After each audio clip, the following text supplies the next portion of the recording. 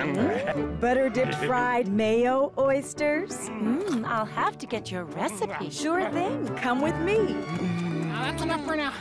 Uh, Dad, where's Mr. Pickles? Uh, he'll turn up, Tommy. Hmm. Is that a whale? No, it's a shrimp stuffed in a crab, stuffed in a flounder, in a turkey, in a duck, in a chicken, in an otter, in a manatee, in a bear, in an elephant, in a whale. It's a